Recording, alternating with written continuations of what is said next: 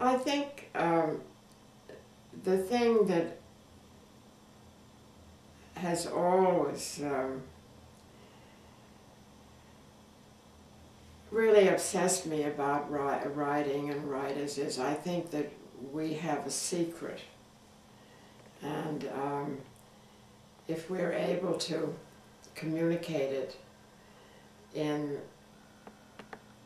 a, a, a, um, sort of code form almost of a story, and then certain people will respond to it or not respond to it, but um, this is this is what makes us fall in love with certain writers. Like I mean, I'm in love with Scott Fitzgerald and and um, Katherine Mansfield, and um,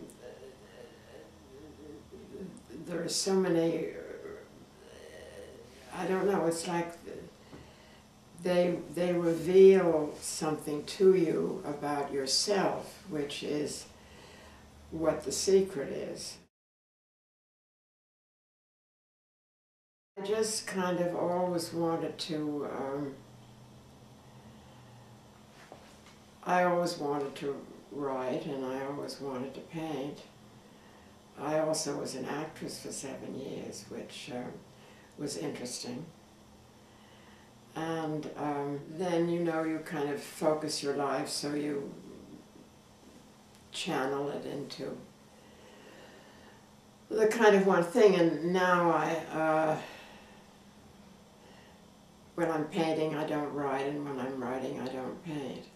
My first story was published in Ontario Review, actually the last issue, and I used a, um, a pseudonym, uh, Mary Marsh, um, and I really don't quite know why I did that, except that um, it was sort of about somebody I was involved with, and I think I felt kind of guilty, you know, if my name was on it,